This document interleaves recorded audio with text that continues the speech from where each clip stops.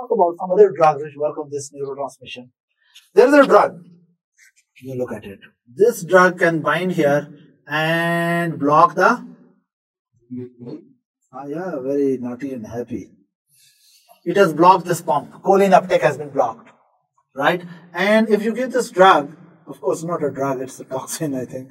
If you give the, this thing to someone in high concentration, it goes and blocks the choline.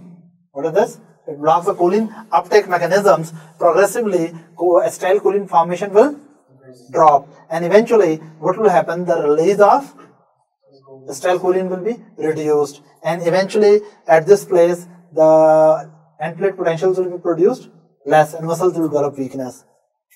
This drug is called it, this drug is called hemicholinium.